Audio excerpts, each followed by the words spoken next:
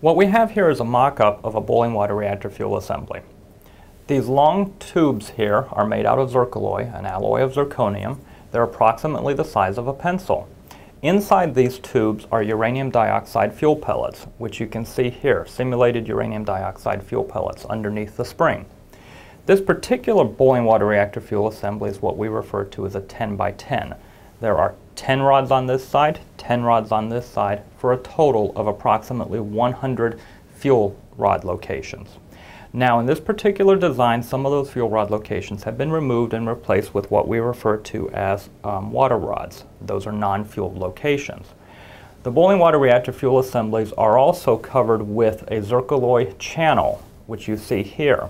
Part of the zircaloy channel has been removed for ease of viewing the inside, as has some of the fuel rods been removed for ease of viewing. This boiling water reactor fuel assembly is approximately five and a half inches wide by five and a half inches. It's approximately 14 feet tall and weighs roughly 700 pounds.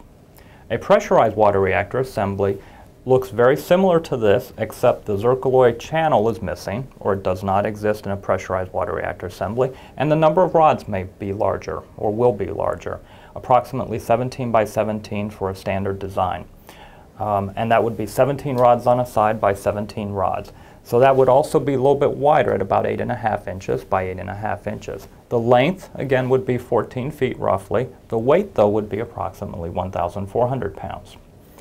Now, in the boiling water reactor assembly, as I said, this is a 10 by 10. More common designs or other designs are 8 by 8 or 9 by 9, and that would be within the same 5.5 inches.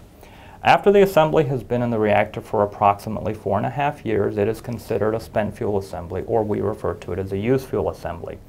It is then lifted out of the reactor, transferred underwater, lifted out of the reactor underwater, transferred underwater to the spent fuel pool, lowered down into the spent fuel pool storage racks underwater.